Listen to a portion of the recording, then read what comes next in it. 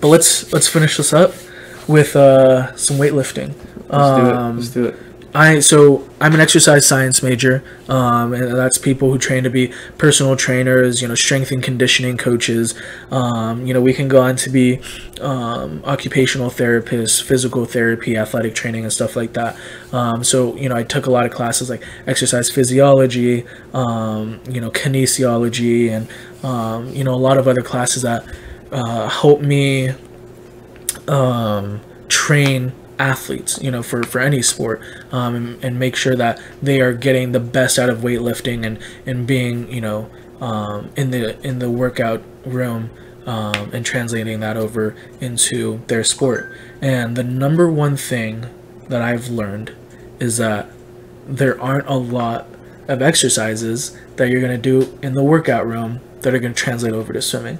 So I'm actually, even though I'm an exercise science major, I'm actually not a huge advocate for uh, weightlifting for for swimmers at least, um, and because there's there's just not a lot that's going to translate over. Right now, doing power towers, right. Um, buckets or whatever you call them, um, pulleys, uh, um, those resistance bands that you tie to your waist belt, wait, or your waist, and uh, um, parachutes, any drag suits and stuff like that, like that is going to be more beneficial because you're training in the water with that resistance, building that strength, building that endurance, training your muscles. That's going to be more beneficial than really anything you're going to do in the water or uh, I mean in the in the workout room, right? And so a lot of a lot of um college programs that have their athletes train in the gym focus on um, legs on that vertical leap because Right. of um, pushing off the walls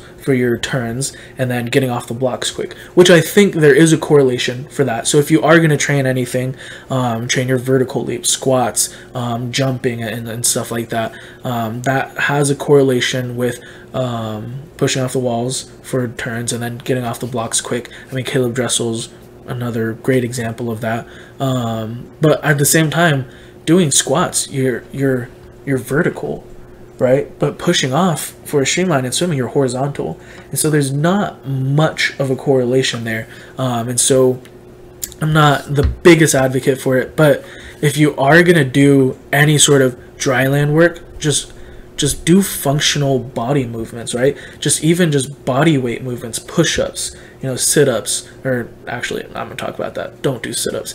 Um, dips, you know, lunges, um, side lunges, front lunges. Front lunges are huge for you know for being explosive off the off the block. Um, just you know regular uh, body weight squats for those pushes off the off the wall and streamline um, and stuff like that. But you don't need to get too crazy where you know you're deadlifting 300 pounds. I mean that just doesn't translate over into swimming. Really, not a lot of things you do in the gym really translate over into Right. functional movements as athletes. Right. Um, but if the number one thing we know is you have to have a strong core as a swimmer, right?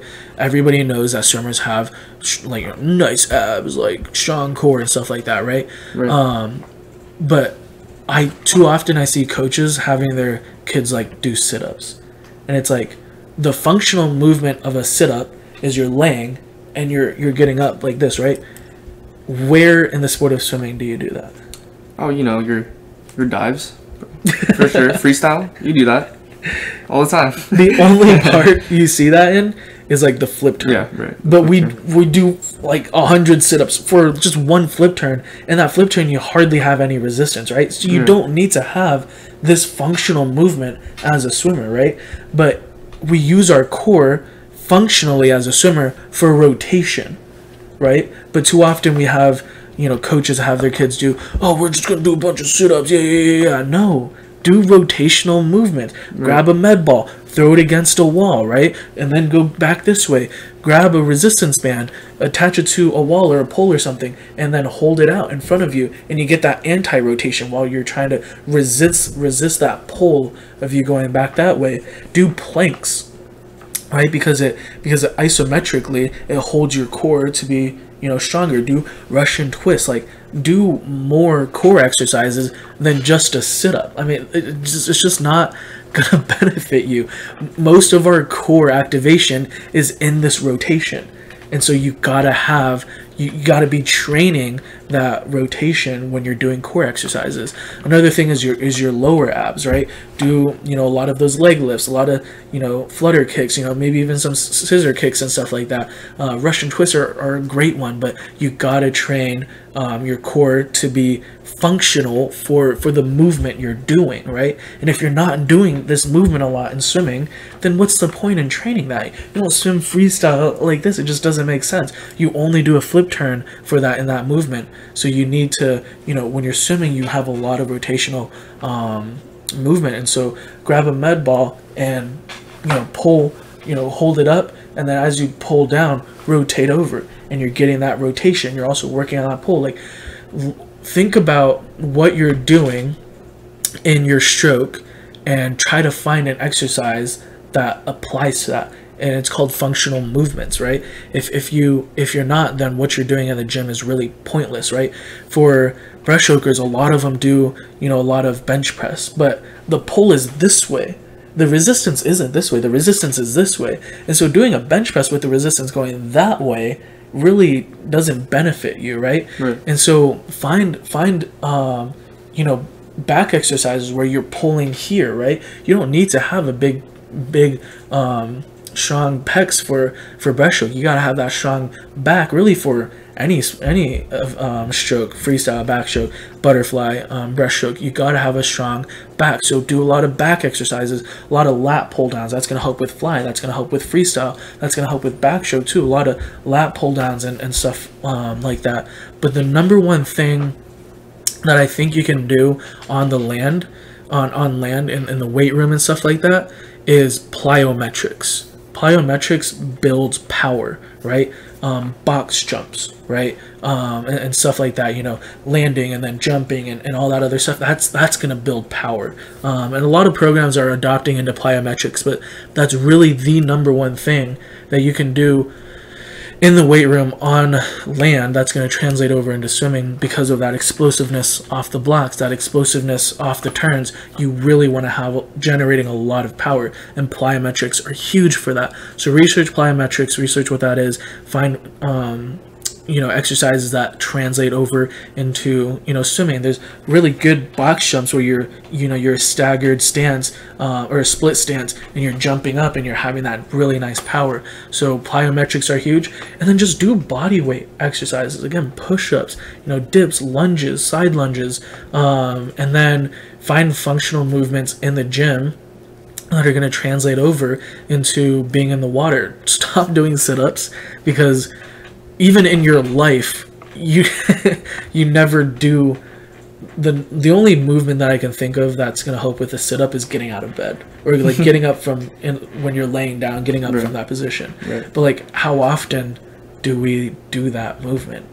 It's like twice a day when you get up out of bed or you're on the couch and you get up. Like that's it, right? right. So stop doing sit ups find functional core movements that are actually going to translate over into being you know everyday stuff activities and then also being an athlete um, and then um, plyometrics and and uh, body weight exercises. You don't need to be super heavy and, and super crazy in the gym. Just find movements that translate over into what you're doing in the water and that's really going to benefit you the most the absolute most.